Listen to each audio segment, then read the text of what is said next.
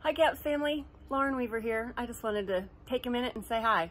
I miss seeing everybody's faces. I know this is so hard, this quarantine for all of us, but especially for our members, I just wanted to take a minute and say hello and see if there was something we could do for you. We are working hard, Camber and Glenn and Robin and I, trying to come up with some more things we can do for you virtually.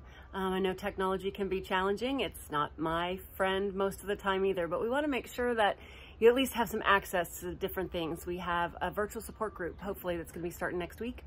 And uh, if you haven't already, we have Gaps in Motion every Friday at noon still. Dedicated Therapy has partnered with us so that we can still offer that. It's in your own home, but you can see everybody else in the class. It's a great way to continue to keep your mobility up as much as you can um, during this time. We want to also let you know that we have the mentor program. If you just need a call, if you need to talk to somebody, please let us know. You can always call the office, 864-905-2574, or email us through the website, gapsonline.org.